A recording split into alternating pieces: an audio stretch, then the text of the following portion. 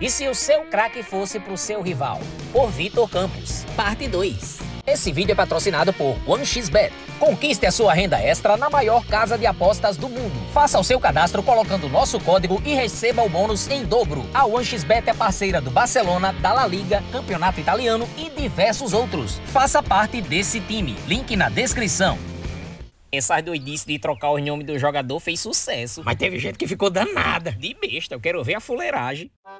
Eita, que os corintianos estão se coçando com essa. Jogador revelado pelo timão vestindo a camisa do Parmeira. Eles não iam aceitar isso nem amarrado pelo Zeguedé.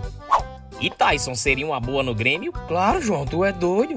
O Imortal tá mais enrolado que briga de polvo. Difícil é os colorados mandar ele pro Olímpico. Eita, agora eu quero ver. Tu acha que ele ia fazer essa leseira de jogar em outro time do Rio? Fred sem o Fluminense é igual o Vasco com salário em dia. Não combina de jeito nenhum. E Dudu, seria um sonho pro Corinthians? Disso eu não sei, só sei que ia ser um ribuliço danado na internet com uma fake news dessa. Os palmeirenses iam ficar bem mansinho.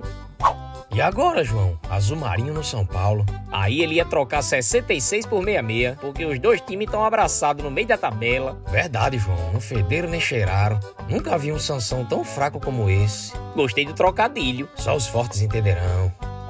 Vixe, agora vem os ex-jogadores, Chico. Rapaz, Vitor bagunçou geral. Os colorados vendo um negócio desse dá logo arritmia craniana. Cardíaca, abestalhado. Dá também, João.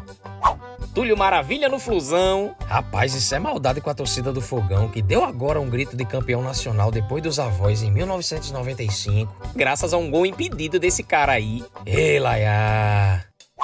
Eita, que daqui eu escutei os gritos dos flamenguistas, tudo irado. O imperador da Série B. Se botasse um Adriano na zaga, um no meio e outro no ataque, salvava o Vasco. Esse ano sofreram mais do que homem-bomba fazendo hora extra.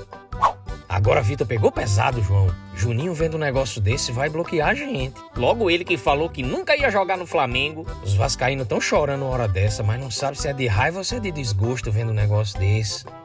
E para finalizar a fuleiragem, a pulada de cerca mais arretada de todas, essa eu queria ver. Mas eles eram amigos, João. Trocavam farpa que sua gota, mas eram amigos. Sei não, viu, Chicó? Essa amizade aí era mais falsa que nota de 200 em carteira de bandido.